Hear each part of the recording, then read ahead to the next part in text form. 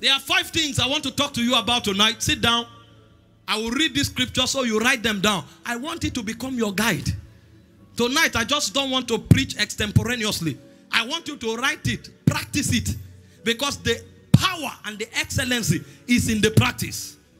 The first thing I want to talk to you about tonight is the significance of faith. So that you know why this thing is so important. Why the Bible will say the just shall live. He didn't say wisdom. Wisdom is important. Wisdom is the principal thing. Get it. In all thy getting, get understanding. He didn't say power. Not many days from now, you shall receive the Holy Ghost and power.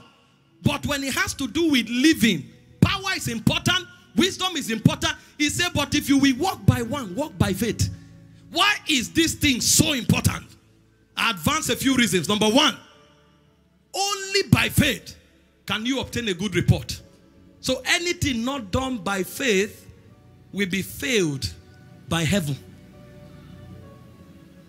It said in Hebrews 11, verse 2, it said, By it the elders obtained a good report.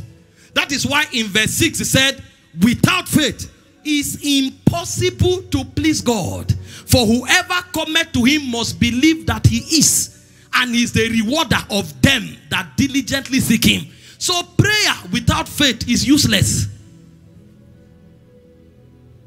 Fasting without faith is useless. Success without faith is useless. Because the only way you can please God is by faith. This is why faith is too important. Without faith, it's impossible. It didn't say you might not be able to. It's impossible. So anything you do, there must be a faith undertone to it.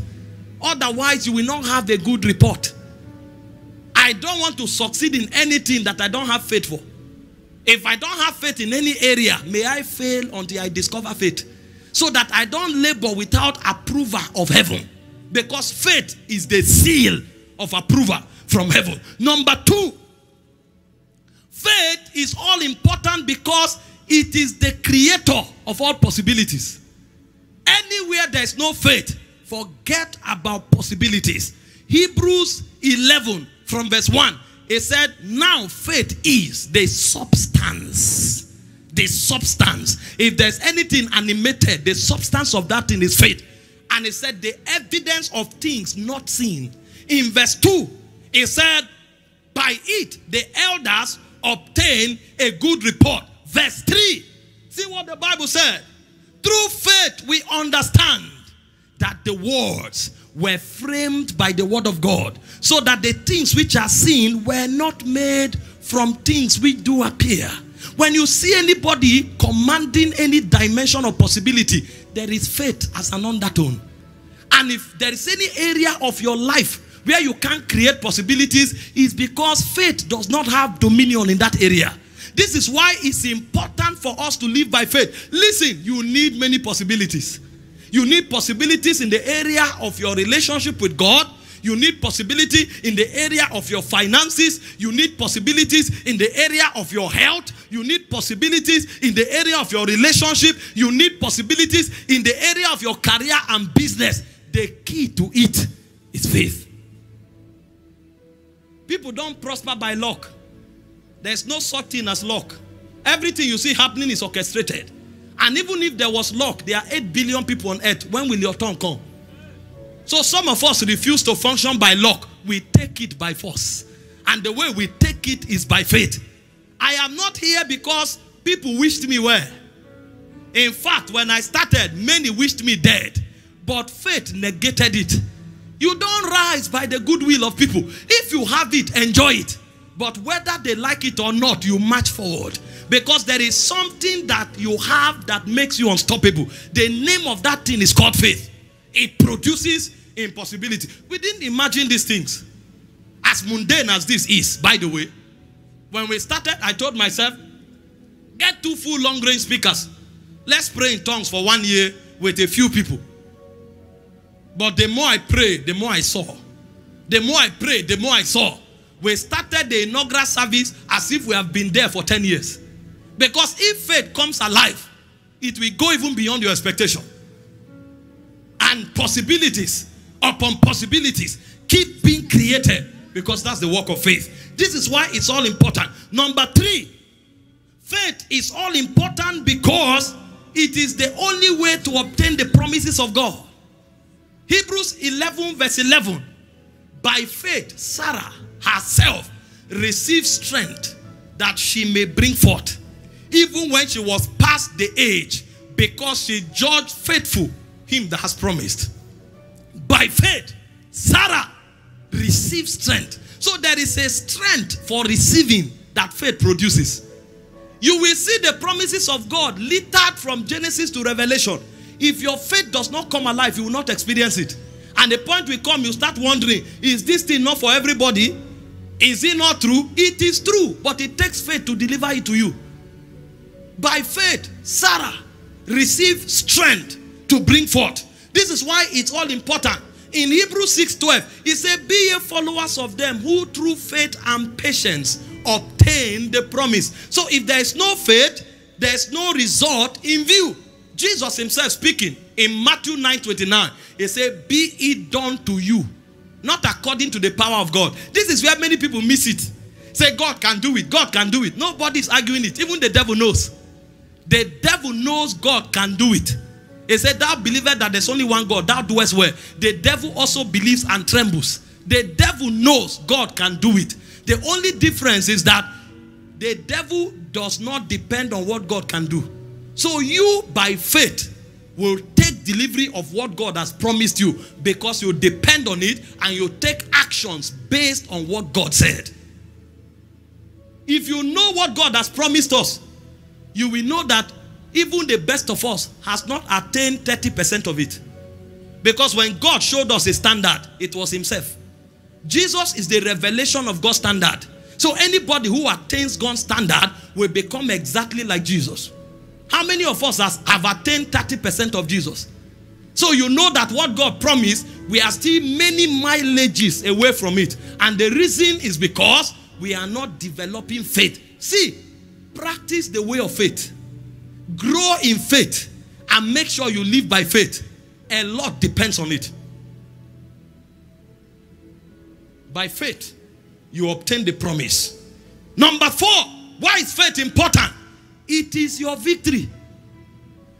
You don't just win by faith. Faith itself is your victory. First John chapter 5 verse 4 he said, whoever is born of God overcometh the world. And he said, this is the victory that overcomes the world, even our faith. Even our faith. Many people are asking God, why am I here? God is telling you, what are you doing with your faith? Your victory does not depend on God. Your victory depends on your exercise of faith. This is the victory that overcometh the world, even our faith. In Ephesians 6 16, it said, Therefore, taking up the shield of faith, wherewith you are able to quench the fiery darts of the devil. See, God is not moved by the things attacking you. He is moved when you are not exercising faith because you are in danger if your faith is not alive. If your faith does not come alive, you are already in danger. This is why you need to learn the way of faith and deploy yourself to seeing that your faith is at work. Every time the devil destroys your faith, you are finished. Jesus was with Peter and the devil succeeded in attacking his faith. Instantly, Jesus began to pray for him. Luke 22 31. Simon, Simon. It says, Satan desires to have you, to sift you like wheat. I say, wheat? You know how light wheat is? That means without faith, we are light before the devil. He can blow us off and we vanish. The reason you stand like Mount Zion that cannot be moved is because your faith is your weight. Jesus says, Simon, Satan desire. That means without faith, you are like chaff. If it blows, you vanish. Have you not seen people who are blown out of existence as if they are flies? Because there was no faith at the foundation. He said, But I have prayed for you that your faith faileth not. He said, When thou art recovered, strengthen thy brethren. God forbid that I'm like chaff before the devil. When he comes, he will meet weight. Because I would have doctored my faith to stand like Mount Zion that cannot be moved. This is why faith is important. It's your victory. It's your victory. So don't let anything rob you of your faith and don't let anything stop you from growing your faith. Number five, why is faith so important? Is the key to relevance, not just with God, but eternally. Hebrews 11 32, he said, Time will fail me to speak of Gideon and of Barak and Samson and Jephthah and David and Samuel and of the prophets who through faith subdued kingdoms, wrought righteousness, obtained promises, stopped the mouth of lions. Verse 34 it says, quench the violence of fire, escape the edge of the sword. Out of weakness were made strong and waxed valiant in fight and turned to flight the armies of the alien. So even when time fails, men of faith must be mentioned. Because you can't deny their impact. Time will fail me, but you must call their names.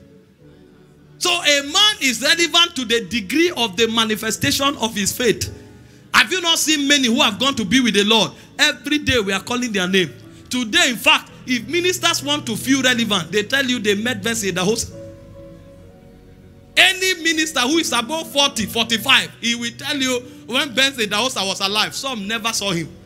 But they know the man's relevance out has outlived him. So they draw relevance from from him. I was with Benson Idahosa. He told me, You will shake the world. Or go and shake the world. Leave stories behind. If your faith does not come alive, you will not amount to anything. Do you know how many preachers were in his generation? Where are they? So, number means nothing. It's faith that makes the difference. Number means nothing. There were many bishops, there were many apostles, and I don't want to, I'm not saying this to spite them. I'm saying this to inspire you that you will not be lost in the number. Make sure your own faith produces the result because you will not be remembered because you came. You'll be remembered because you made a difference. And the power to make the difference is the extent to which you manifest faith. Faith is too important. It is what makes you eternally relevant. And finally, I reiterate again, without faith, it's impossible to please God. And there's nobody here who does not want to please God. In fact, one of the reasons for creation is to please God.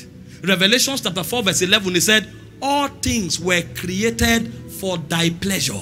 So if you are not pleasing God, your creation and your existence is useless. Your existence counts for nothing. And the Bible tells us clearly that the only way to please God is by faith. It therefore means only faith can give relevance to your existence as far as God is concerned. This is why you cannot allow your faith to be destroyed. Too many persons have allowed their faith to either be destroyed or to be made inactive. And they relax because they don't know the importance of faith. Faith is not just about commanding results. Results are one of them, or is one of the many things faith does. However, faith is much more important than commanding result. These are few significances of faith. Now, having taught this, let me show you some ingredients that every genuine faith must have before I go into the subject of building faith itself. Hmm. We bless you, Lord. You are holy. And forever you are God. We bless you, Lord. You are holy. You are holy. And forever you are God.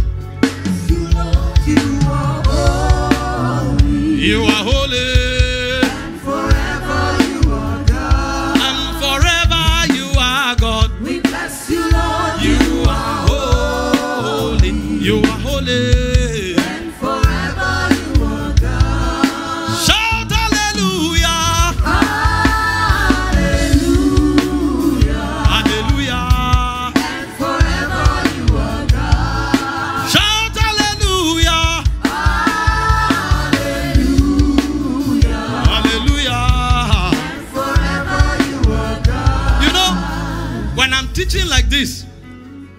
Teaching here is the byproduct of the service.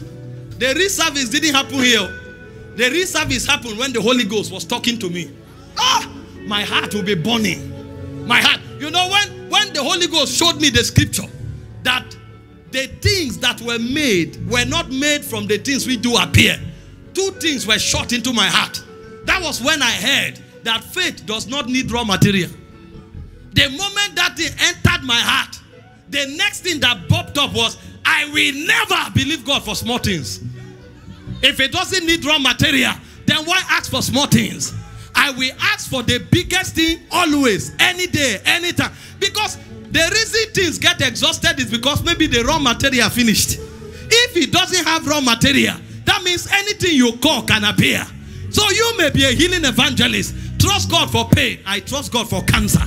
I trust God for the dead coming back to life. You may be a businessman. You may be trusting God for a building in Wuse 2. Ha, I'm trusting God to take over Dubai, to take over America, to take over London. The thing does not have raw material. My job is to believe. I began to tell myself, I said, before this year is over, we must register our presence in at least 10 nations. I was thinking we will do four. But if the thing has no raw material, the power will appear, the resources will appear, the men will appear. I don't know where you are, but I decree and declare over you from tonight, your life shift to a next level.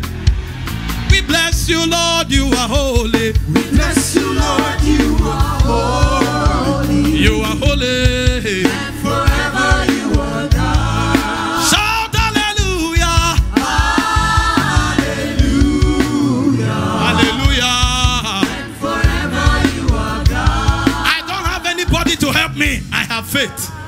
Will go anywhere I want to go to.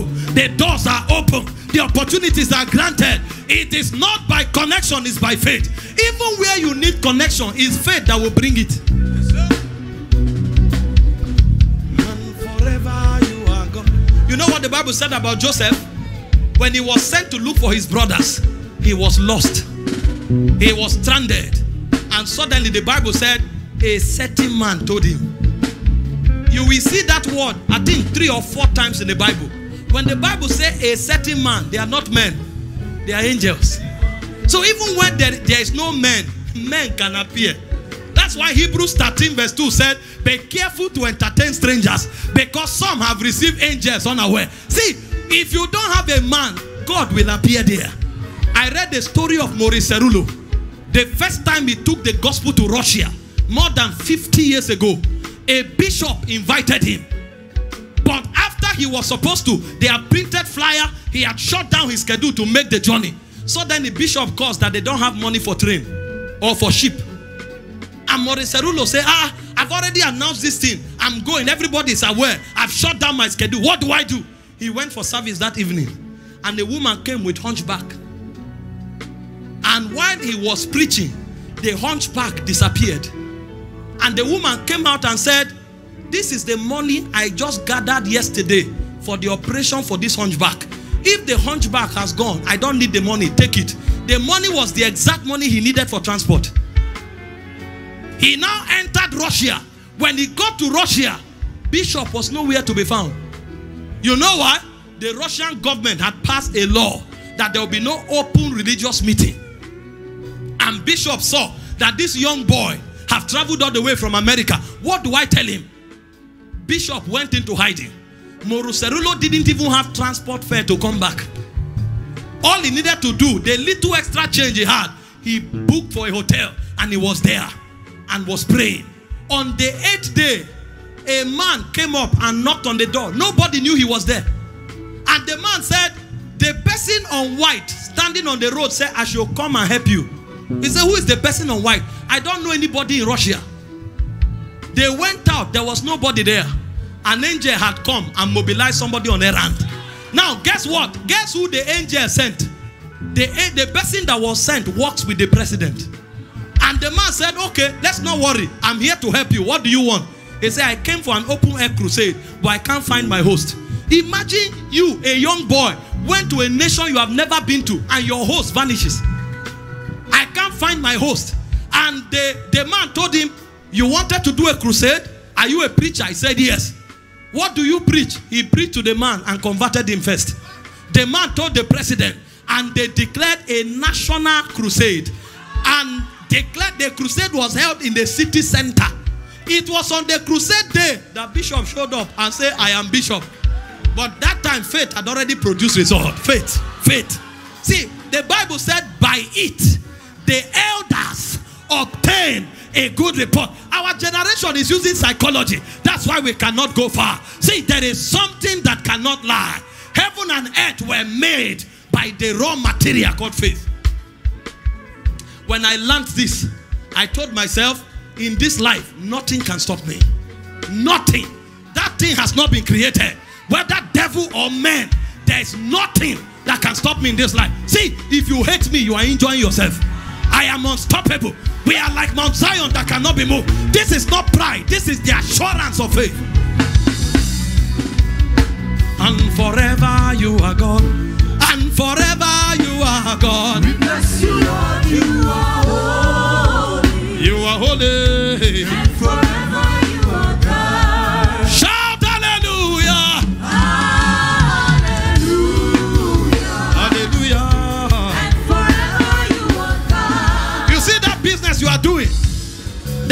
As if it will be folded up. Hear the word of the Lord. The life of God comes upon it now. That business will not only succeed, it will become one of the leading businesses in this generation.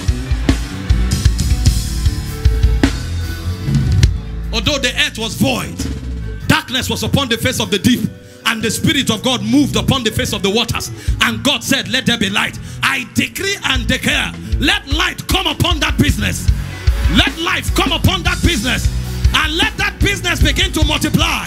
In the name of Jesus. Sit down for a moment.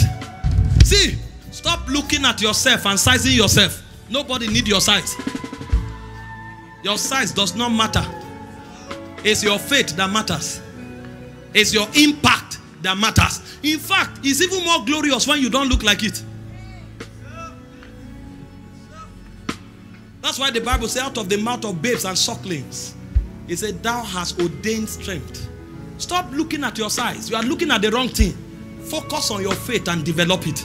And see the giant your faith will make out of you. Who told you you are defeated? Forget about men. Anyone that should connect to you, God will make the way. Don't pursue men. Somebody testified the other day. He came here. I prayed for him. He was not healed. He went back and was listening to my message, and faith came alive in him. The affliction vanished. Men are a gift, but men don't replace Jesus and the Holy Ghost. Build your faith. What are the ingredients of faith? Genuine, authentic, and impactful faith. Number one is understanding. See, our problem is not faith. Oh, hear me. Everybody listening to me now, you have enough faith to raise the dead. You have enough faith to do anything that your destiny requires. And I'm not the one saying it. That's what the Bible said. Romans 12, verse 3. It said to every one of us, He dealt the measure of faith. The measure. That means the amount of faith you require for a glorious destiny has already been dealt to you. And Jesus speaking, He said, If your faith is as small as a mustard seed, He said, You can tell this mountain, Be thou removed. You know what Jesus was trying to say? Comparing your crisis with the amount of faith needed is incomparable. If your faith is as small as a mustard seed, he said, You will say to this mountain, Be thou removed. He said, If you do not doubt in your heart, you will have whatsoever you say. Your problem is lack of understanding. You don't know you already have enough faith, and you don't know what to do with your faith. And the faith we have is not even our own, it's the faith of the Son of God. Galatians 2, verse 20. Hear what Paul said. I am crucified with Christ. Nevertheless, I live, yet not I, but Christ liveth in me. The life which I now live in the flesh, I live by the faith of the Son of God. The faith that works in us is not our faith, is the faith of the Son of God. And this is the same faith the apostles had. Because Paul was speaking in Second Corinthians 4:13. He said, according as it is written, they believe and have spoken. We have been the same spirit of faith. So this faith of the Son of God that Paul has, Paul said is the same faith that the apostles had. And the apostles said, we have like precious faith. Second Peter 1 verse 1. This same apostolic faith that Paul said he possesses, that is the faith of the Son of God. Peter was speaking about that faith. And he says, Simon Peter, a servant and an apostle of Jesus Christ, to them that have obtained like precious faith. So the faith you have is the faith Peter has. The faith Peter has is the faith Paul has. And the faith Paul has had is the faith that Jesus had. So you have the faith of the Son of God. Your problem is not a faith problem. Your problem is an understanding problem. So the first ingredient that your faith requires is understanding. The moment light comes, faith is activated. Genesis chapter 15, from verse 5 to 6. God was laboring with Abraham to believe. He couldn't. This is God talking to a man directly. Abraham could not believe. And the Bible said, and God brought him forth abroad and said, Look towards heaven and tell the stars, if you are able to number them. And he said unto him, So shall thy seed be. He was trying to open his understanding. And in verse 6, the Bible said, And Abraham believed God. The moment understanding comes, faith comes alive. And Abraham believed God, and it was counted to him for righteousness. Every time God wants our faith to come alive, He shows us things. In Genesis 13 14, take up thy head and look. Whatever you see, you will possess. That was how Abraham possessed the earth by looking. See, don't joke with your understanding. This is why the devil is running about thwarting people's understanding. You know what the Bible said? In Second Corinthians 4, verse 3 and 4, he said, If our gospel be hid, it is he to them that are lost, whom the God of this world, the God of this world, have blinded their minds. Second Corinthians 4, 3 and 4. The God of this world have blinded their minds from seeing the glorious image of the invincible God. They can't see it, so they can't believe it. If your eyes are blinded, your faith is dead. Why do you think the people of the world can't receive the heritage of the saints? The Bible said their understanding is darkened. Ephesians chapter 4, verse 16, 17, and 18. Their understanding is darkened, so they can't receive the wealth that we are possessed of.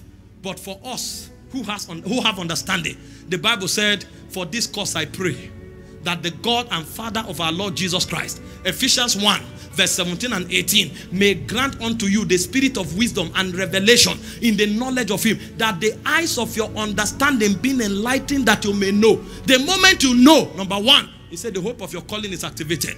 Number two, he said the exceeding riches of the glory that is available to the saint is possessed of you. And number three, he said you enter the power that God wrought when he raised Jesus from the dead. So the key to activating your faith is understanding.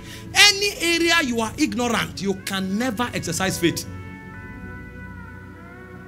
You can raise the dead. The reason you are not is because you are ignorant. You can prosper in your business. The reason you are not is because you are ignorant. You can live a healthy life. The reason you are not is because you are ignorant. That's why I say, buy the truth, sell it not. Pursue it, pursue it, pursue it. He said, through knowledge shall the just be delivered. He said, my people perish, not because there's no power to save them. He said, it's for the lack of knowledge. Everywhere there is ignorance, faith is dead.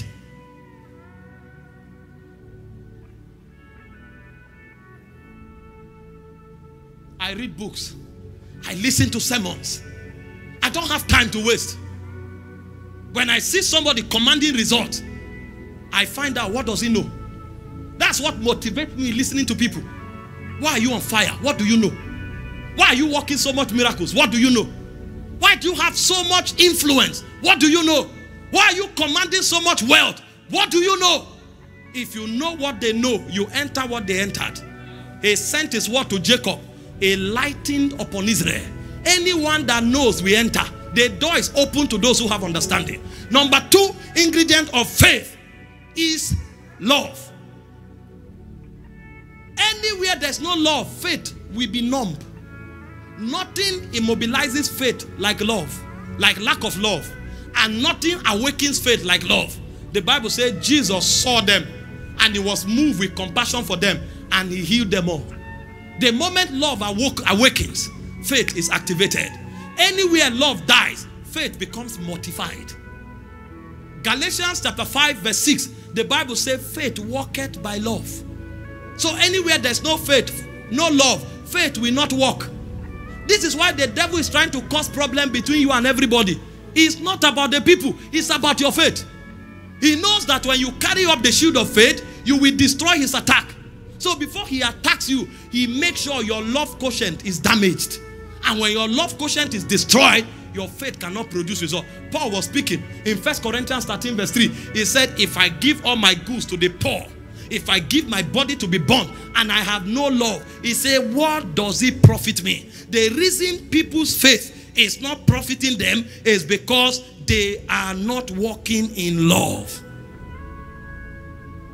You know what the Bible said? In First John chapter 3, verse 14, it said, Where there's no love, the people dwell in death. You want your faith to work? Nurture your love. And can I tell you one thing that will make you love anybody? Because you are unlovable. God chose to love you, not because you want it. Why do you forgive everybody? Not because they are reasonable. You also were guilty of death. You couldn't help yourself. God forgave you. So if God forgave you unconditionally, he is teaching you that you too must forgive others unconditionally. This is why Paul was speaking in Second Corinthians chapter 5, verse 13 and 14. He said, For the love of Christ constrained us. He said, For we don't judge that if one died for all, they which live should not live for themselves, but for him that died for them. See, if you don't understand the foundation and the root of the love that you enjoy from God, you will not know how to extend it to others. You were not worthy of love, you were not worthy of forgiveness. God forgave you notwithstanding to give you a pattern and an example. That's why He said to forgive others as you were forgiven. And there is a blessing attached to it. Every time you walk in love, your faith comes alive. I'm telling you why most of us are not walking in faith. The faith subject is not too hard, but it has requirements and ingredients. Have understanding, have love. Let's see if you will not manifest faith. Number three, ingredient of faith patience or endurance. Hebrews 6 21.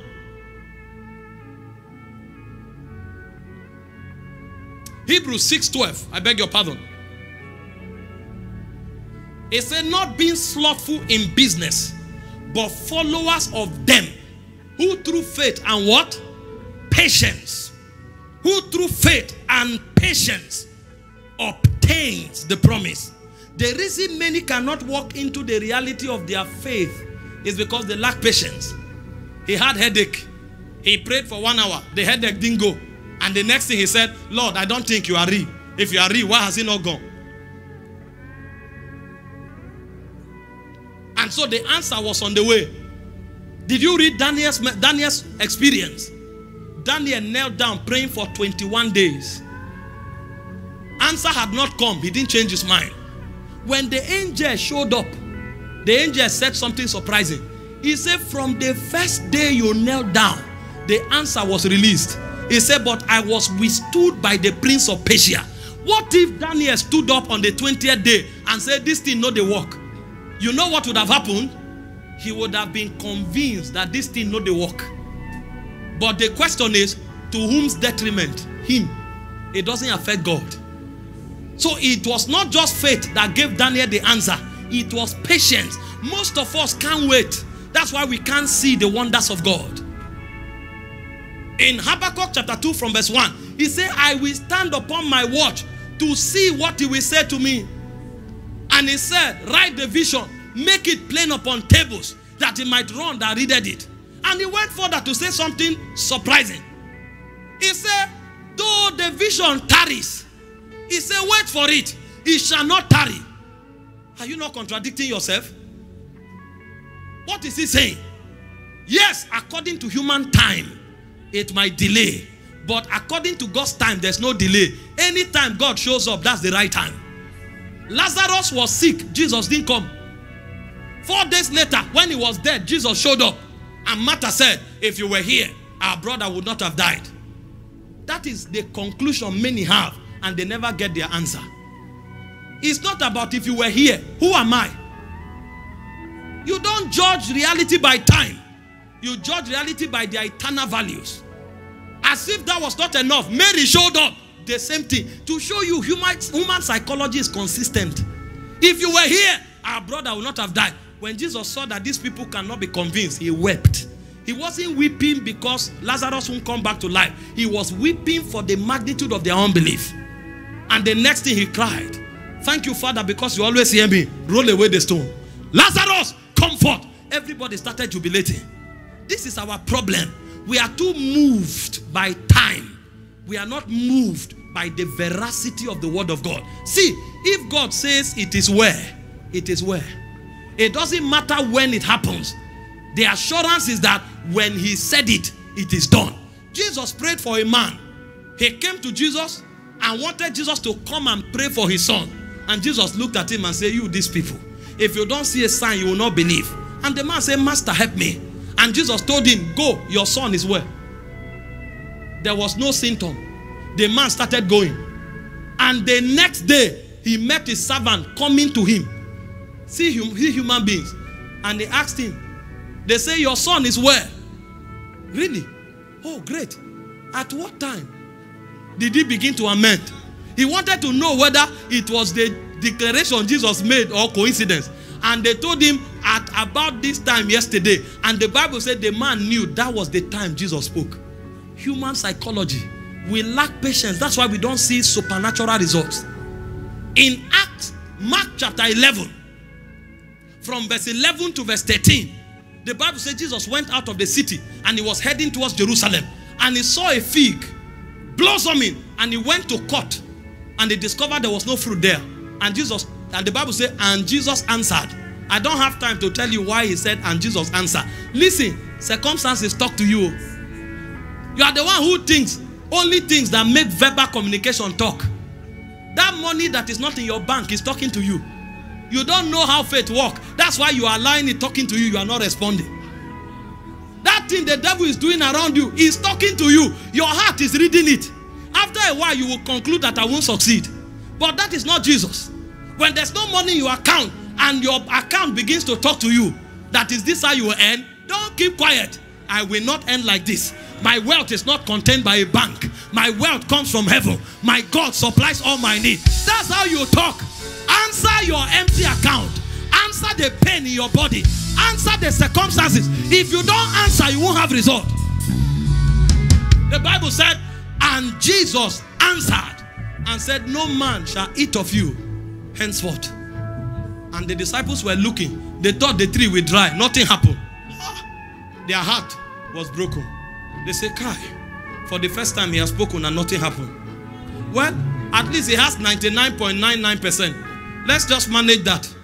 And they went to the city, and Jesus was not perturbed. The next day, when they were coming back, look at your brothers. They were watching the fig tree. And Peter shouted, Master, the fig tree that you caused has withered up. It didn't move Jesus. Jesus knew them. And Jesus answered, Mark 11 22, have the God kind of faith. Have the God kind of faith. Don't be moved by time. Don't be moved by manifestation.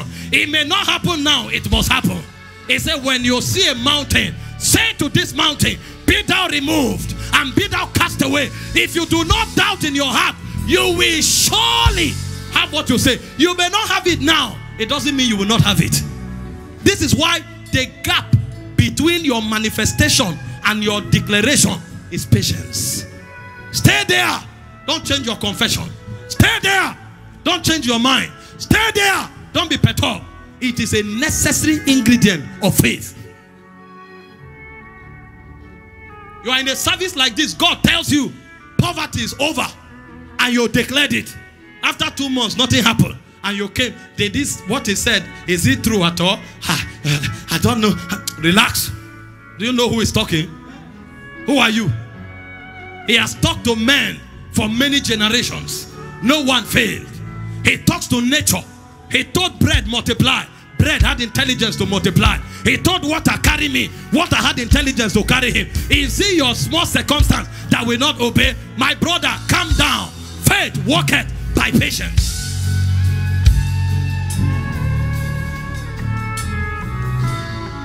Patience.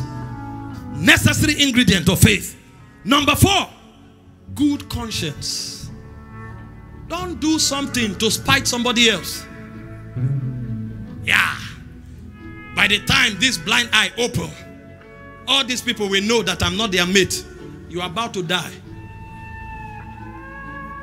By the time I make that 10 million, that's when I will tell them who I am. You are about to die. It's a holding faith and a good conscience, which some having put away concerning faith have shipwrecked their faith.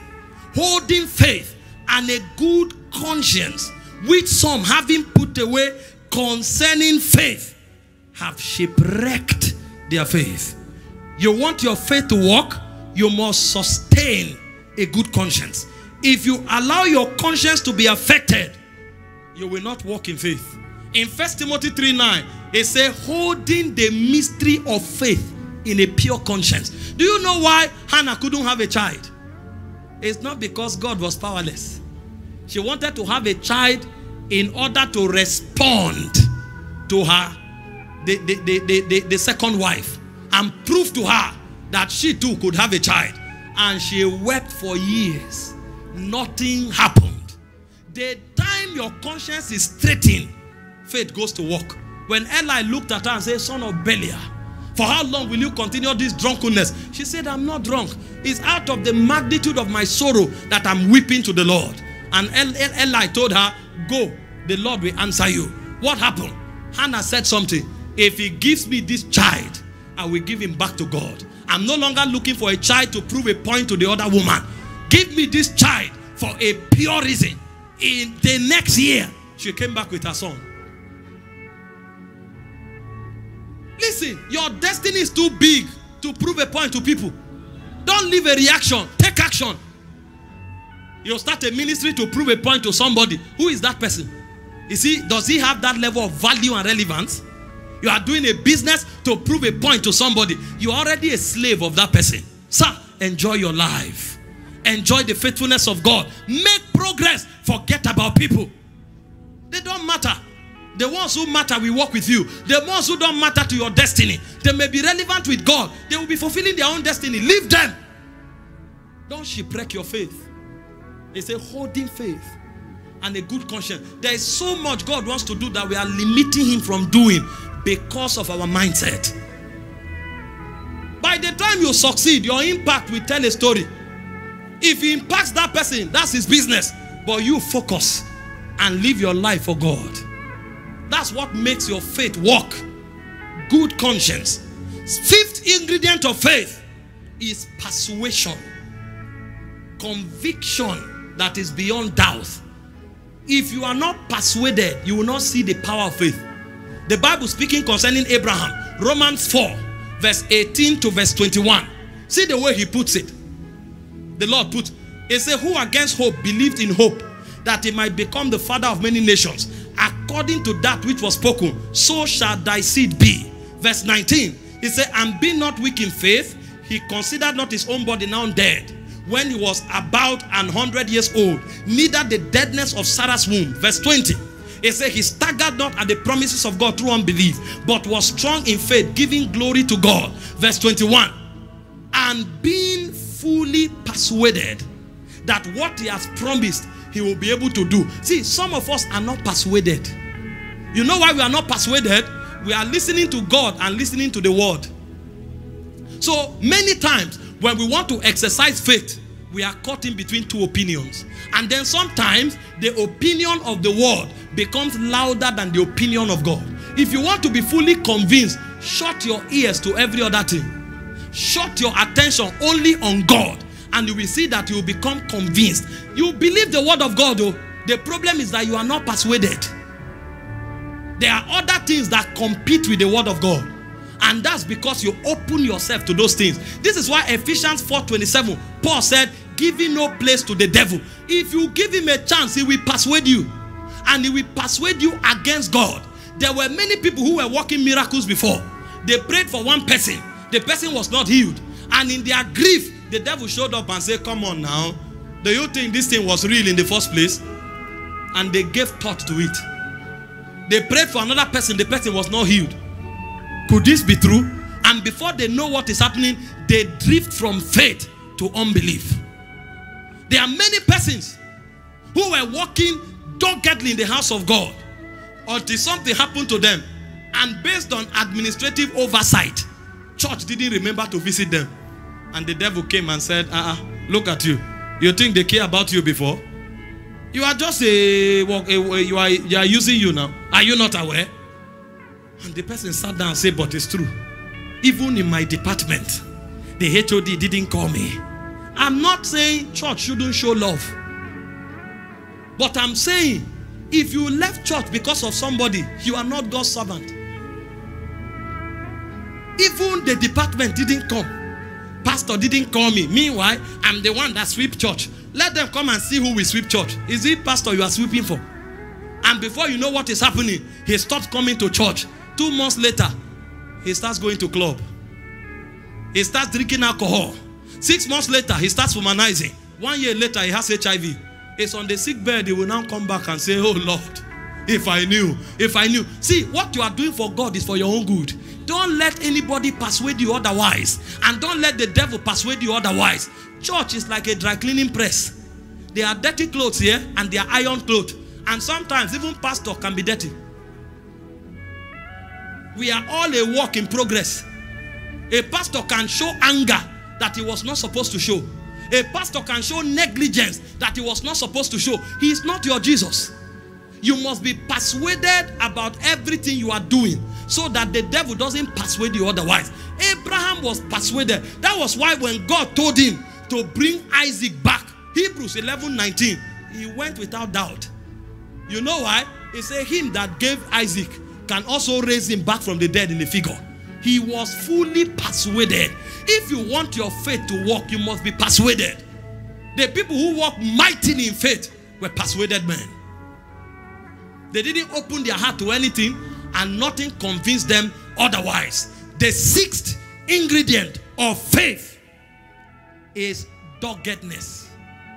If you are not aggressive, you will see a lot of things. Oh, I read the scripture that literally blew me off my seat. Matthew 15 is the story of the Canaanite woman from verse 21 to verse 28. Let's read this. I won't explain. Just hear this scripture and see what will happen to your spirit. Then Jesus went thence and departed into the coast of Tyre and Sidon. And behold, a woman of Canaan came out of the same coast and cried unto him, saying, Have mercy on me, O Lord, thou son of David. My daughter is grievously, grievously vexed with the devil. Verse 23. But he answered her not a word. He was looking at Jesus, koro koro like this. Help me. And Jesus refused to answer her. Until, see what happened. And his disciples came and besought him, saying, Send her away, for she cried after us. That means Jesus kept quiet until the thing drew attention. And the disciples said, People are looking at us as if we are callous people. If you don't want to help this man, tell her to go. Imagine, this is not a man. This is Jesus, the king of compassion. Kept quiet. And the woman wouldn't stop. But he answered and said, I am not sent but unto the lordship of the house of Israel. You see the first answers Jesus gave? The resources I have is not for people like her. She's a Gentile. I came only for the Jews.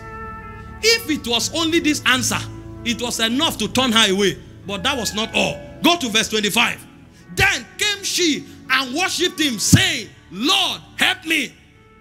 And here the one Jesus now said. But he answered and said, It is not meet to take the children's bread and cast it to dogs. I'm showing you what dog get faith is. That even when God says no, your faith can say yes.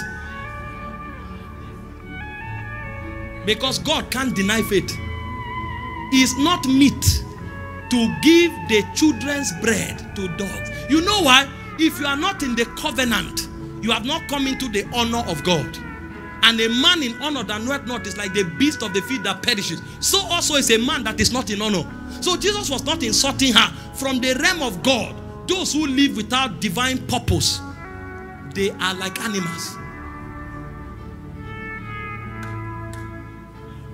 Hear the woman's reply. And she said, Truth, Lord, I don't argue with your word. And she still respected and honored him and called him Lord. I won't stop worshiping you because of what you have said. Yet, the dogs eat of the crumbs which fall from the master's table. Jesus stood up. Who is this? Somebody said doggedness. See, you relax too quick. Oh Lord, heal me, heal me. You go and lie down. I don't know why God is not healing me. I must be healed. It is either yes or yes. And it must be yes. And it cannot but be yes. Jesus stood up. Hear Jesus' response and said unto her, Oh, that's exclamation. The man surprised the master. I thought you knew all things, sir. Yes, I do. But when I see some things that I know, even me, I wonder.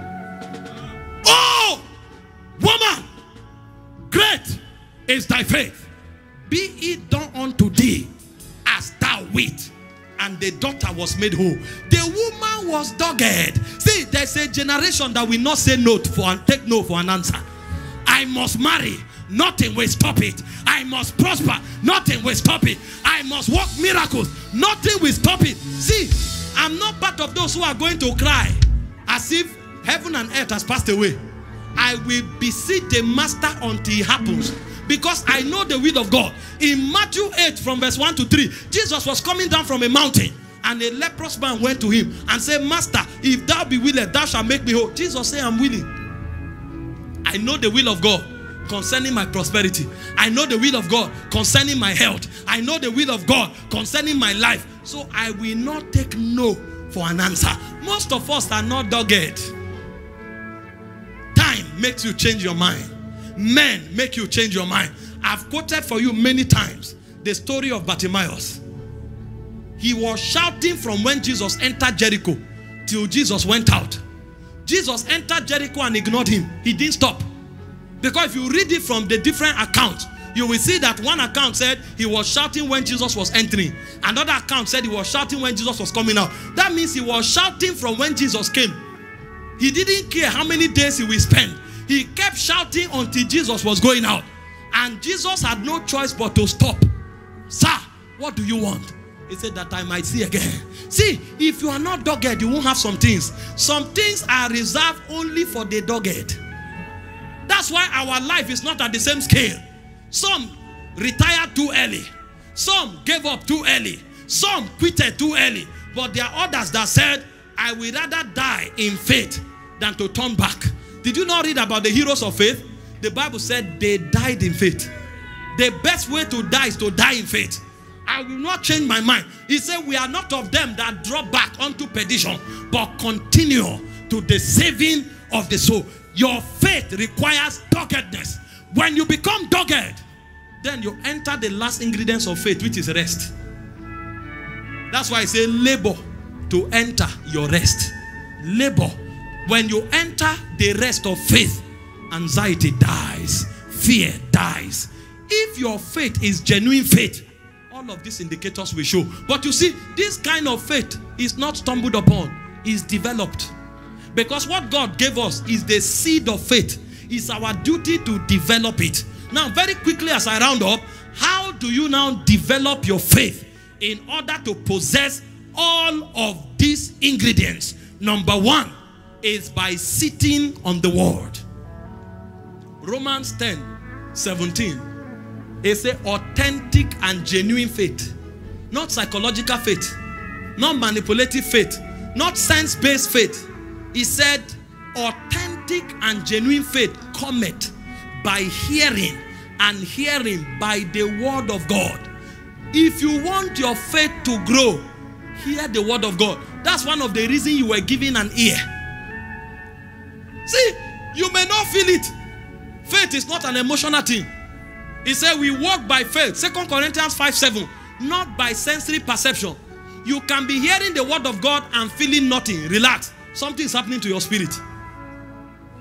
The moment the word enter, the word inseminates your spirit with faith. And that faith keeps growing. See, the reason most of us don't walk in faith is because there is scarcity of the word in our spirits. You heard what they all the testimony the testimonies they gave. At the nick of time, when the devil thought he has gotten them, the word now comes out. So that word that you were hearing was incubating in your spirit. I saw a wonder when I was a little boy that I will never forget. Do you know this man that takes snuff? One of them died. He was a conch snuff taker.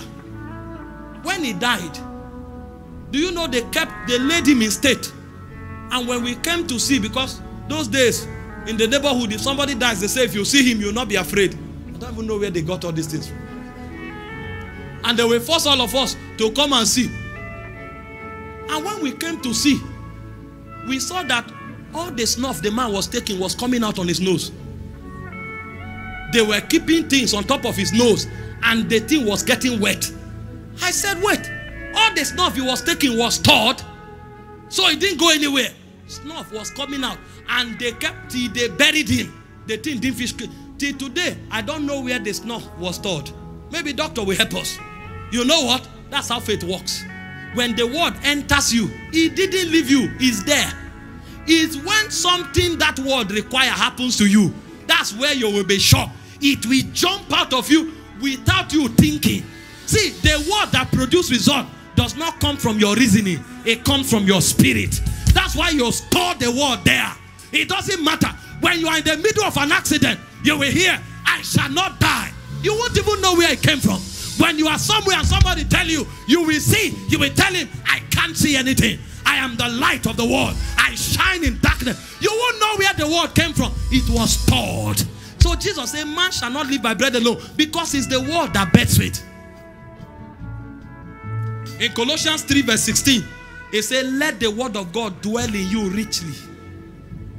Let the word of God dwell in you richly in all wisdom. Let it dwell. See, open yourself to the word. You know the formula Paul gave us? First Timothy 4:13. Until I come, give attendance to reading, to exhortation, and to doctrine. He said, Give thyself wholly to these things, verse 15, that your profiting may be made manifest to all. Give yourself wholly. If you are not tired, read. If you are tired, listen to somebody else's talk. That's exhortation. Somebody else is talking into your spirit. I've even mastered it now. Sometimes I'm sleeping, a message is playing. Because the Bible says, why men slept, the devil sowed. So if the devil can sow when men sleep, is it God who is the master sower that won't sow? Your spirit does not sleep. He that make keepeth Israel, neither sleep nor slumber. God is a spirit. They that worship him must worship him in spirit and truth. And the God of peace sanctify thee holy, spirit, soul, and body. My body might sleep, my soul might sleep. My spirit is like God, is awake. And so is receiving. That's why some of you are listening to messages. When you sleep, the message turns to encounter, is animated. Somebody was listening to my message. I was talking about the cherubims. And suddenly he entered the dream world and started seeing cherubims. The spirit entered to the reality of the world. Eat it. Jeremiah 15 16, he said, I found thy word. I ate it. It became the joy and the rejoicing of my heart. See, don't allow, you can lack money, not word. Because money doesn't produce word, but word produce money. You may lack health, not word. Health does not produce word, but word produces health. By all means, choke yourself. See, let the word choke you. That's why I say it should dwell in you richly. Think it, talk it, do it. Think it, talk it, do it. Those days, people will tell me, Is it every topic you you bring Bible? I'm not planning it. I don't know where it comes from. I'm too saturated. And I listen to men who are saturated with the word. Sometimes I sit down, Bishop Oyedepo is, shout, is roaring. The introduction alone has 15 verses of scripture. And then sometimes you are lying down, he will quote some, you will jump up. Ash, where, where did this? Uh, the other time I was listening to me and they said, Wisdom and knowledge shall be the stability of thy times. Oh, as I heard it, wisdom and knowledge. shall be the stability. Something happened to me. I, I, Makara katoa. Ìmọ́lẹ̀ dé o. Òkùnkùn parada. Ìmọ́lẹ̀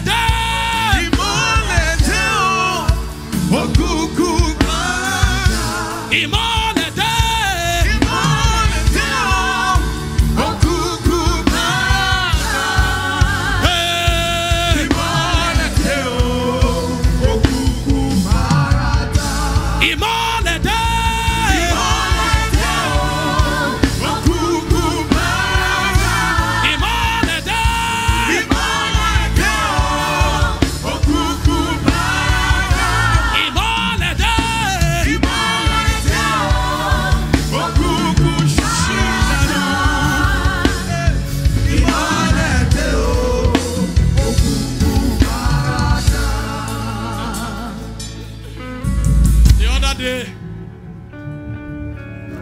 my dad was sick, and the doctors were saying all kinds of things, and my heart was broken. And I went to pray. As I was praying, I now heard, and the years of thy life shall be 80, and if by reason of strength it shall be 90. I jumped up. My prayer has finished. The word has come. See, this is the word. When it comes like that, nothing can stop it. They are the bullets of the spirit. They are shot out of your spirit, man. When the Bible says you are God's battle axe, his weapon of war. When God wants to shoot, you are the one who. His word is his bullet, but he needs to put it in a gun. So when the word enters you, you become God's trigger. They say, Oh, Nigeria will fail. And one of his bazookas can be in Kafanchan. And on the mountain, he will hear, and Nigeria shall prosper again. He will fire it on behalf of the whole Nigeria. God has spoken. You don't know. We are not ordinary. We are strange beings. But see, there's a way to cook yourself. See, cook yourself. Because the day of trouble is coming. He said the devil is roaring, prowling like a roaring lion, seeking whom he might devour. The day he comes to you, make sure there are words. Because if you faint in the day of trouble, it's not because your God is weak, it's because your strength is little. But your strength is the word that is in you. I write unto you, young man, because you are strong, and the word of the Lord abideth in you, and you have overcome the evil one. First John 2, verse 12 to 14. You are strong. The word of the Lord abides in you. You have overcome. Who told you your company will not work? He's joking. Who told you your ministry will fail? He's joking. Who told you you will die? He's joking. They told me somebody said I will die. Before I responded, I heard from my spirit. That frustrated the devices of the crafty. Ah, the thing will just come out. Who is it that saith a thing and it cometh to pass when the Lord commanded it not? It doesn't need prayer. Response has come. It's called the Rhema war. Most of you don't have wars. That's why you pray all prayers. There are some things before you kneel down, the answer will jump out of you. That's how to build faith. Choke yourself with the word. The second way to build faith, sit down, write these things down. I'm tempted to fly. Ah, I'm feeling motions. I'm feeling motions. You know, there are some utterances that you suspend because they are ladders. When you touch them, you ascend. But I want you to write these things so that you practice it. Hmm. Then I asked the Lord, what name fits you? And he said, yeah. Then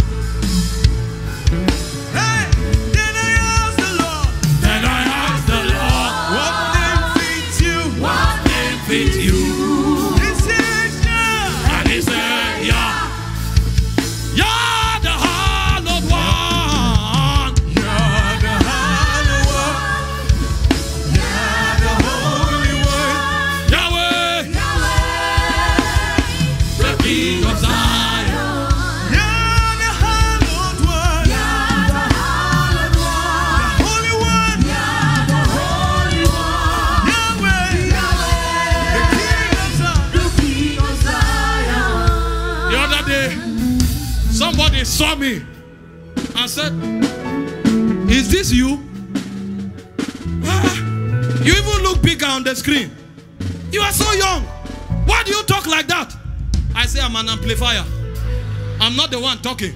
It's an ancient spirit talking on my inside. Melelelele. Eboriwata California. Bakada, Bakada, Berakado. Then I asked the Lord, what name fits you?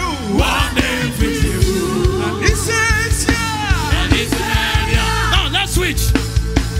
There's it was fragrant. Then it turned to fire. My worship is my weapon. My worship is my weapon.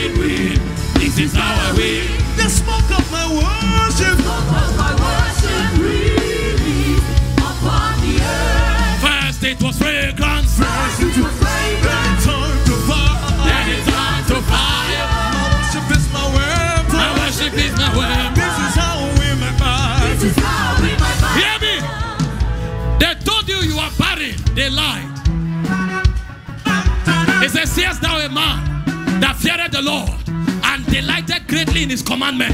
His seed shall be mighty upon the earth. You have passed the level of praying for children. We are talking about mighty seeds. You have gone past, oh Lord, give me a child. No. He said, None shall desire her meat. And he said, The years that the God has given to you, you shall walk in them, and you shall not be barren. It's a law in the spirit. I decree over you. Everything dead in your life comes back to life now.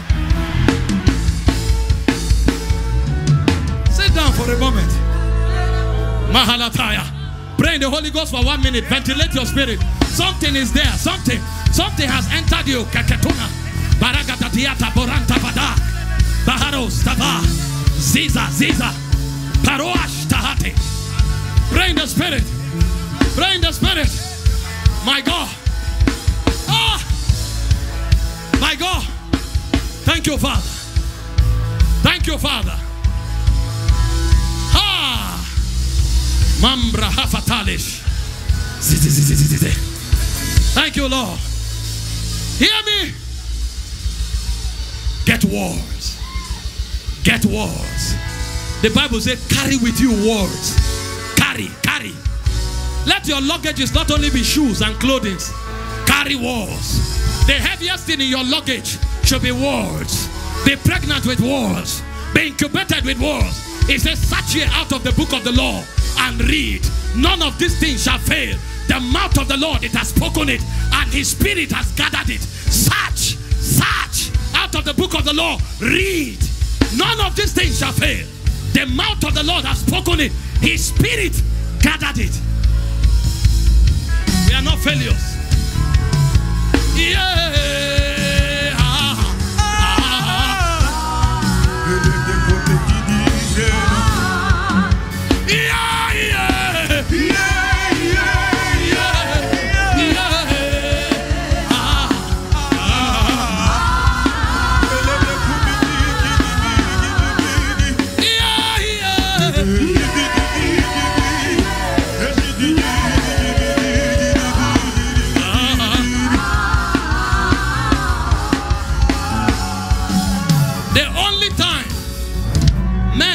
To laugh at you is when you don't have words.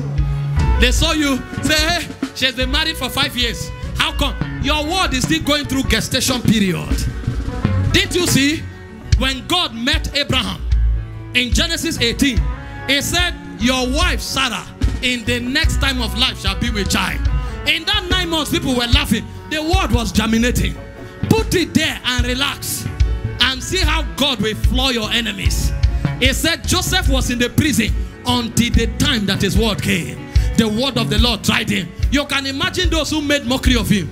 He said the king sent for to lose him. Even the ruler of the people. He made him lord of his house and ruler of his substance to bind his princes at his pleasure and to teach his senators wisdom. The guy who you call the prisoner is actually a teacher of senators.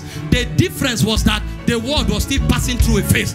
I decree over you everything spoken about your destiny manifest from tonight in the name of Jesus.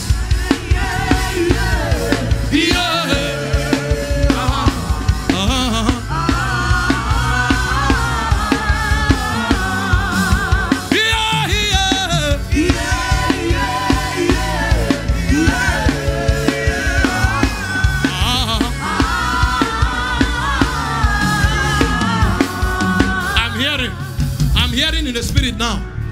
Lord is telling me somebody who have been struggling with his knee, your knees, as if he couldn't carry you anymore, you can't walk. Life has entered. As you stand up, you'll discover strength has come, the pain has gone. And in the same way, anything crippled in your life, receive power now to fly. Sit down, sit down, sit down for a moment. I want you to write it so that you will practice. Want to soar. Sefria Daruka. Zezeze Duruana Vandaka. You know, the, the mystery of waiting upon the Lord is that when the time comes, you fly. You fly. Via cometes. There's a level where you crawl. That's good. Thank God for it. But there's a level where you walk. Thank God for it.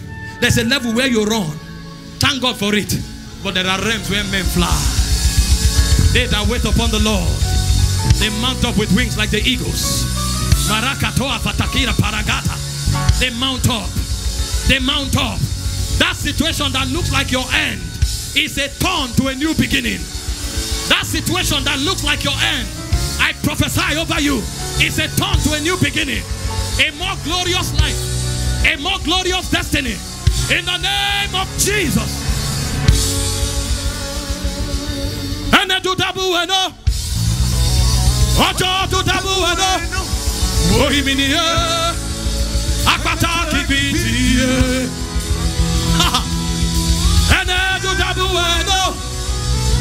Ojo tutabu eno. Ohimini ye.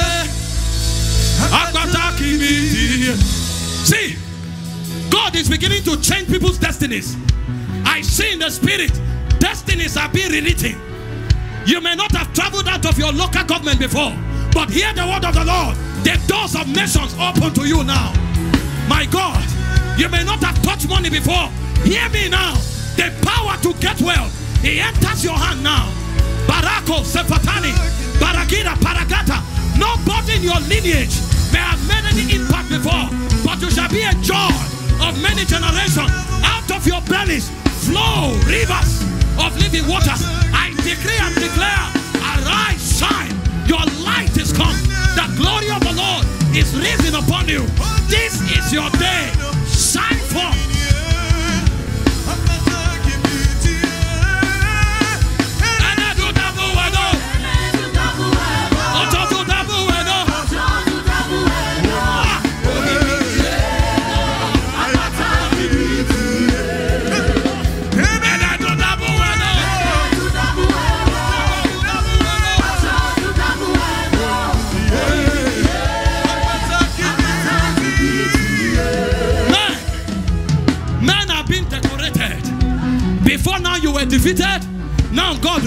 as a warrior. God raises you as a warrior. The names of men and women are being added to the heroes of faith. It's a time will fail me to speak of Gideon, to speak of Barak, of Jephthah, of Samson, of David and the prophets who through faith subdued kingdom, obtained righteousness, shut the mouth of lions, quenched the violence of fire. Weak men were made valiant in battle and they put to flight the armies of the alien. And guess what? Your name is being added. Martha joins that list. Matthew joins that list. Victor joins that list. Michael joins that list. Godwin joins that list. Favor joins that list. Marata, Berekatona. The anointing that makes warriors. The anointing that makes warriors. It descends now. Everyone hearing me that belong to the warrior generation. I release that grace upon you. I release that grace upon you.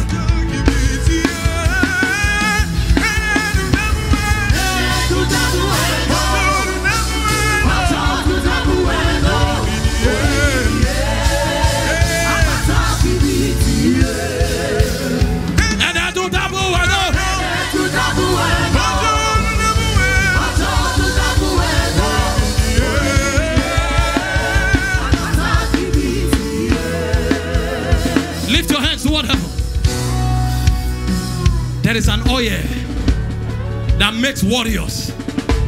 There is a garment that makes giants in the kingdom.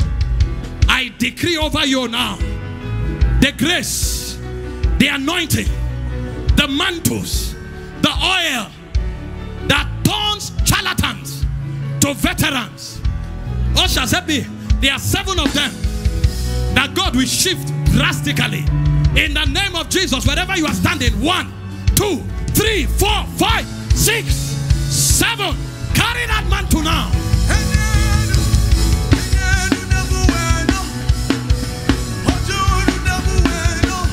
Oh, he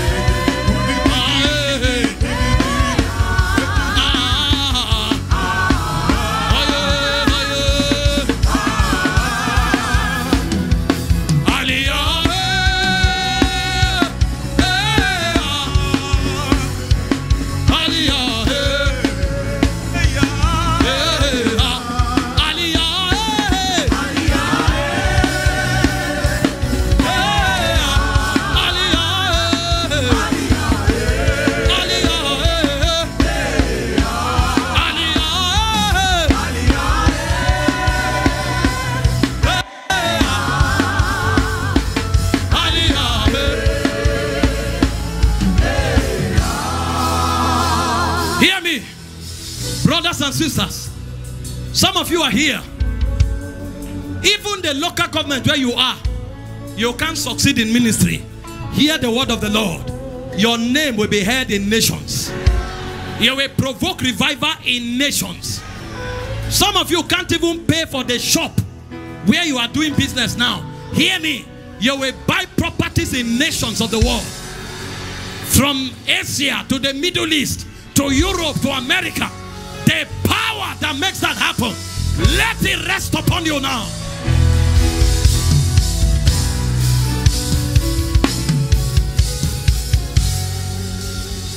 Sit down for a moment.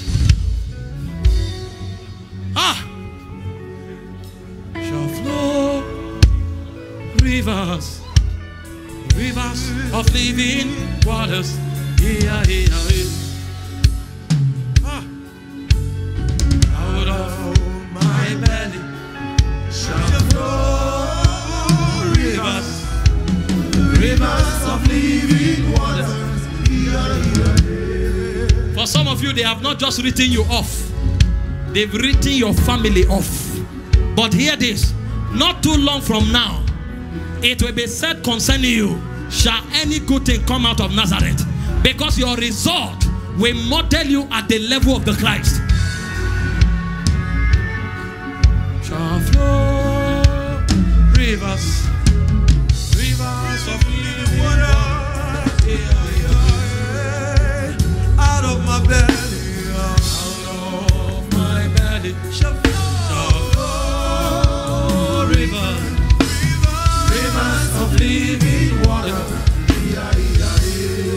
let me round up my teaching.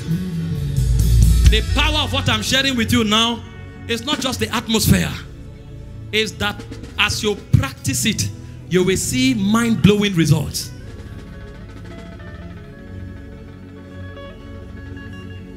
The first way to grow your faith is by sitting on the word. The second way to build your faith is by prayer. In Jude, verse 20, it said, Dearly beloved, building up yourselves upon your most holy faith, praying in the Holy Ghost. When you pray, you develop your faith. You know why? When you pray, you see. You see from the realm of God. Jeremiah 33, verse 3 say, Ask of me, I will answer. I will show you great and mighty things that you know not of. The reason most of us are numb is the only things we are seeing are discouragement. The only things we see are failures. The only thing we see is fear. You need to see from the realms yonder. That's what prayer does for you. It opens you up to dimensions of the spirit. The same way God told Abraham, Genesis 15, 5 to 6, Genesis 13, 14, see and get result. When you see, you will believe. I'm not saying natural things now. I'm saying from God's perspective. He said, Abraham believed God and it was counted to him for righteousness. How? Because God showed him. Every faith giant you see, God is showing them something. That thing God shows you is what shifts you to the faith dimension. Because the faith dimension is a fourth dimension. It's dimensions beyond matter, space, and time. It's a supernatural dimension.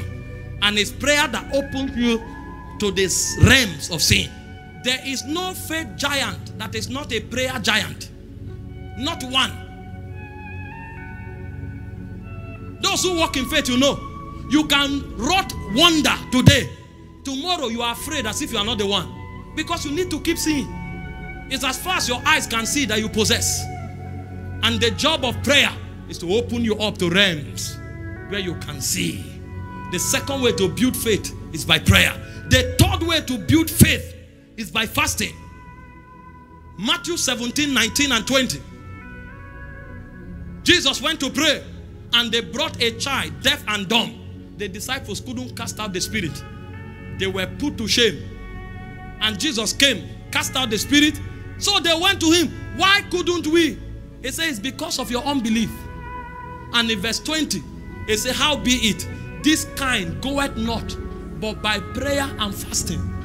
It's not the demon. We don't cast out devils by fasting. It will, it will contradict theology. We cast out devils by faith in the name of Jesus Christ. When he said, This can go not but by prayer, he was referring to your unbelief. There are certain levels of unbelief that will not leave you until you pray and fast. Because when you fast, you see. When you pray, you see from God's perspective. Isaiah 58, verse 5, 6 to 7. The Bible clearly states it. When you fast and fast correctly, is this such a fast that I have chosen? A day a man to afflict his soul? Is it to bow down his head as a, a boorish or to spread sackcloth and ashes under him? Will thou call this fast and an acceptable day to the Lord? Verse 6. Is not this the fast that I have chosen? To loose the bands of wickedness and to undo heavy burdens and to let the oppressed go free. And they, and that ye break every yoke. So he's telling them how to fast accurately. That is not just to afflict yourself. It's not just to be hungry, but to also be kind and generously disposed toward others. Now, when you fast correctly, see verse 7. Go to verse 8. Then shall thy light break forth as the morning, and thine health shall spring forth speedily, and thy righteousness shall go before thee, and the glory of the Lord shall be your reward. So when you fast correctly, your light breaks forth. And your light is light, is sight and understanding in the spirit. And the moment that light breaks forth, faith is born. So the third way to build your faith is by fasting. When you fast, you see. And when you see from God's perspective, faith becomes a natural byproduct. The fourth way to build your faith is to take faith-based actions. I've quoted here time without number. James 2 19, 20, and 26. He said, Thou believest that there's only one God. He said, Thou doest well. The devil also believes and trembles. O vain man. He said, Don't you know that faith without works is dead? In verse 26, he said, As the body without the spirit is dead, so also faith without works is dead. See, if faith comes alive in you, it provokes action. That's why Paul said in 2 Corinthians 4:13, according as it is written, they believe and have spoken. We having the same spirit of faith, we believe and speak. When you have the same spirit of faith, you must act. James 1 22 to 24. He said, Don't be that man who sees himself in the mirror and as he turns, he forgets. He said, But be the man that continues to do what he has seen from the perfect law of liberty. He said, You shall be blessed. Faith necessitates action. It's as you start acting that your faith grows. Some of us see us, we thought things happen. It took a lot of actions. Many failures in the past. Now we are looking, seeing little, little results. Very little. And we have not started. Go and check the giants of faith. Every day they acted. You see people praying for the sick, they are healed. Some of them pray for the sick every day for two years before they started noticing certain results. Because every time somebody is not healed, you learn something you shouldn't have done. These kinds of action is to practice the God life. Practice it. I live literally trapped in this web of practice. Can I tell you what I've done in the last one week? I started my week last week Sunday. I stayed in God's presence for seven hours in prayers. I came here and ministered to you. The next day, that was Monday, I did three recording for pastoral teaching. And then I counseled with some people. And the more I hear people's problems, the more I become wise. I hear a thousand and one problems every week.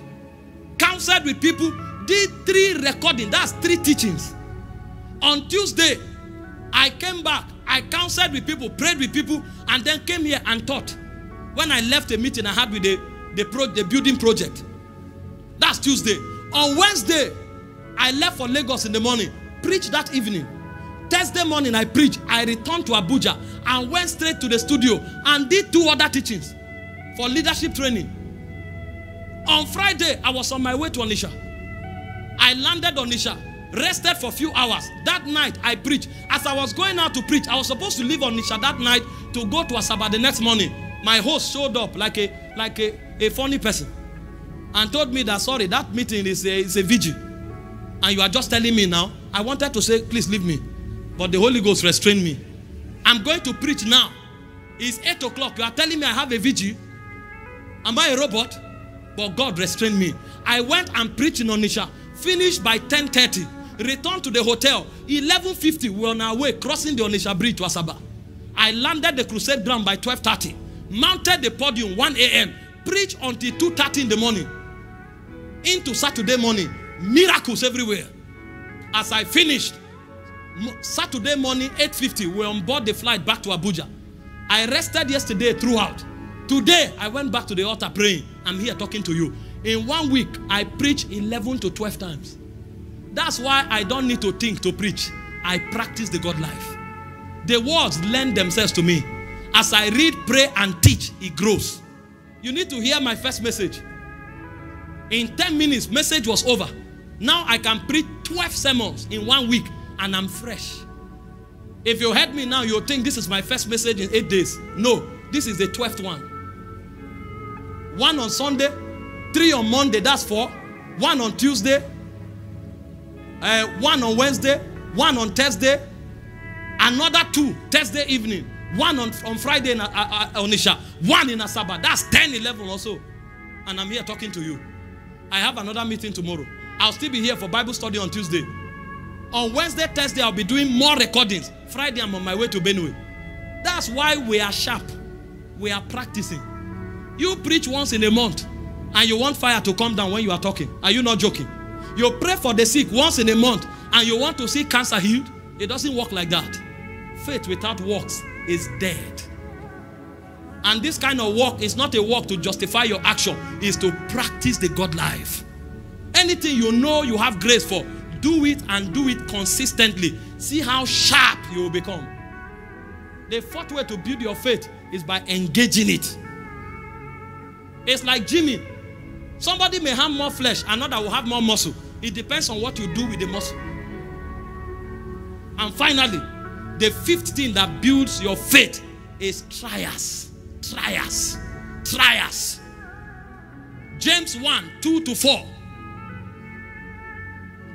My brethren, count it all joy when you fall into diverse temptations. Verse 3 Knowing this, that the trying of your faith worketh patience. Faith must be tried for it to grow. He said, But let patience have a perfect way, that you may be perfect and entire, wanting nothing. The faith that produces results is tried. When I see some of these giants, I wonder, did they appear like this? I had to go back to their history. Go and look at the story of the faith giants. You will see. There was a time when Bishop Oyedepo's wife was afflicted for one year. He said they went somewhere to preach, and I'm talking about it because she wrote a book on it. So it's public knowledge. Went to preach, and when he was done preaching, the wife came up to take offering, and she was tattooed on the altar. When he saw that the wife was not talking after three minutes, he knew something was wrong. He rushed there. They shot an arrow at her, and she was struck from the altar. And for 10 months, every day she said she saw the spirit of death standing on the door. The man didn't stop his messages, he didn't stop traveling, he didn't stop anything because the devil can't determine our calendar. And they, they, both him and the wife kept on in faith. Every day she was taking communion. In the 10th month, T.L. Osborn showed up and made a declaration. That night, they saw a dead bed in their parlor. A room that is sealed. Where did the bed come from? The spirit of death that came in the likeness of a bed had died.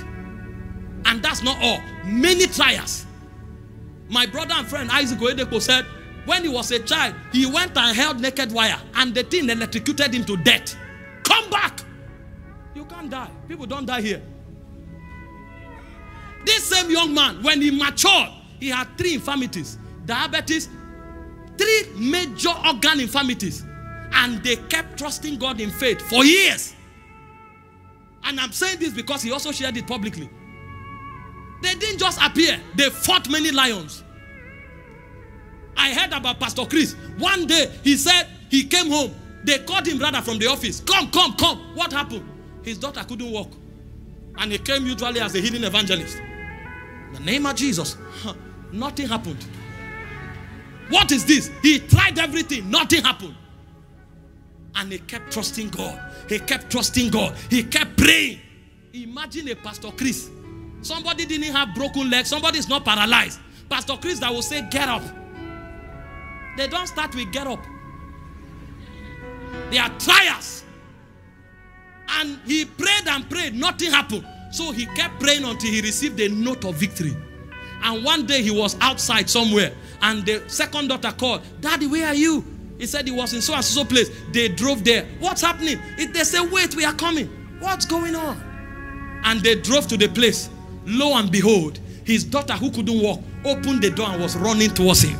He said, when he saw his daughter coming, tears dropped on his eyes and hugged him. They've seen things. Paul said, If after the manner of men I fought the beast of Ephesus, if your faith does not have trials, where would the beauty of faith be? That thing you are going through is not meant to destroy you. That's what gives credibility to your faith. That's what toughens your faith. This is what some of these men knew that say, Our God can deliver us. But even if He doesn't, we will not bow. We will rather die. Because too much trials have toughened them. Paul said, We are the circumcision that worship God in the spirit.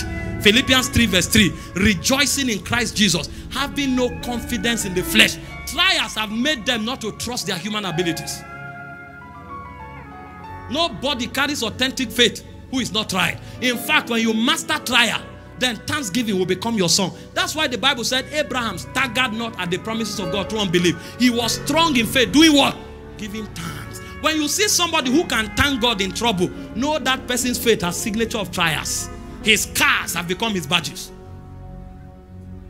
Be anxious for nothing. He said, In all things, by prayer and supplication with thanksgiving, let your requests be made known unto God. And the peace of God that surpasses knowledge will garrison your heart. What is faith? Faith is to trust in God and to back up your trust with action. That's the first level of faith. So I don't matter what is going on around me.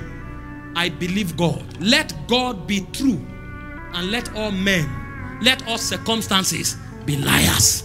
That is faith. It's not enough to trust God. Back that trust with action. That's faith. And trust me, nobody who trusted God has ever been put to shame. The Bible said they looked up to him and their faces were radiant and they were not ashamed. The people who are put to shame are those who didn't trust God. Nobody. I've heard stories. Have we not experienced it? God told me, start up. And God gave me a date in January. Up until one week, we had no kobo. Because we don't start ministry with money. You start ministry with wisdom and faith. You know, many people think when I have 10 million, I will start. Before you start, the money will finish. Nobody. Isaac Oyedepo was talking the other day. He said, When I started, my dad gave me no kobo. He said, You have learned the way of faith. Go and put it to work. That's the currency of, of ministry. If I give you money, I've destroyed you. I didn't start with money. See, when you send pastors, go here, they start crying, ah, I need money. That's why they don't succeed. Ask the person who is sending you, how much was he given? We were given the mandate. Jesus said, When I sent you without pause, without script, without sander, lackest thou anything? They said they lack nothing. All they carried was faith. One week to inauguration, no kobo anywhere. But God said, We must start. On the day of inauguration, I kept telling everybody, I'll do your transfer, I'll do your transfer. From nowhere, from faith. And a woman invited me to preach. I went to preach. I finished. She was so touched. She said, Let the whole church give money to this man. He's starting his church today. I didn't even announce it. Lo and behold, 14 million came out from faith. And from that day, we have never knocked on anybody's door. Please help. Not one. And until Jesus comes by his mercies, we will never ask anybody. We will do what the Bible says, and that's enough. When you see ministries move like this, you will think, oh, somebody is giving them money. Be joking. Everybody who gives here is God that touched their heart. So, because we don't coerce people, we just believe God. We preach the word the way it is, and God does his work. But if you walk in faith, you can never be put to shame. This is the victory that overcomes the world, even our faith. You want to bow your heads now and ask God for that grace to walk extraordinary dimensions of faith. Pray now. The Lord has visited us mightily. As I round up, please hear me. On ground online, before this week is over, your mouth will be filled with laughter. Long standing afflictions are dissolved now. From sicknesses to lack to confusion and contradictions with men. I decree under this atmosphere of faith, every chain in your life is broken. Every sickness in your body is destroyed. Every lack in your life is broken. In the name of Jesus. Thank you, Father. We give you praise. Thank you, Lord. Ah, I'm seeing giants. I'm seeing giants.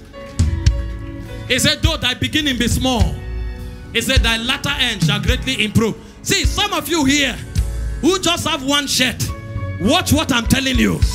By this time next year, you will be able to buy lands and properties.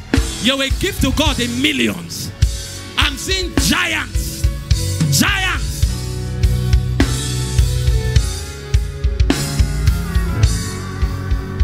Elohim Adonai.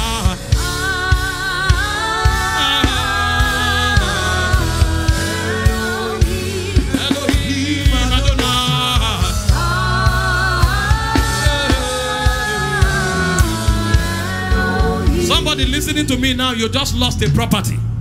The Lord is telling me to tell you, you will receive double for your losses. Somebody listening to me now, The only person the whole family is trusting died. Just died like that. And it looks as if you are hopeless. The Lord is telling me to tell you, I am your shield. I am your exceeding great reward. Fear not. Your tomorrow will be greater than your today. Thank you, Father. The Lord keep you. Cause his face to shine upon you. Lift up his countenance over you and give you peace. Write this scripture down. This is a prophetic word for everybody hearing me now. Isaiah 60, verse 15. You were a desolate land. No man went through you, but I have made you an eternal excellency, the joy of many generations. You can go and write it and put in your office. I am an eternal excellency, the joy of many generations. I decree that is your portion in the mighty name of Jesus. Give the Lord a shout of praise.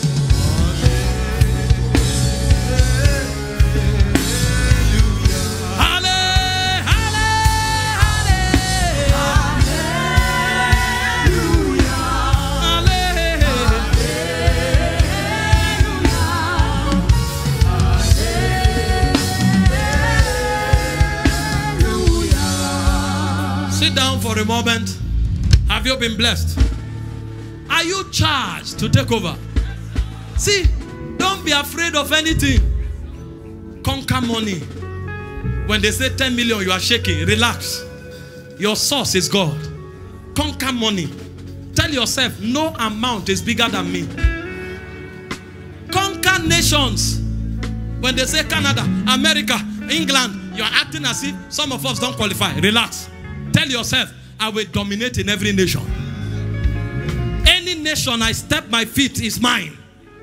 Conquer those things. Your insufficiencies don't exist. He said, Cast your cares upon him. He cared for you. Conquer everything. You are supposed to reign in life. So reign. I said reign. You didn't hear me. I said reign. In the name of Jesus. Hallelujah. You know, most of you who don't look like it, very soon you'll start shining. And those of you who look like it, you will keep exceeding the expectation of men. In the name of Jesus.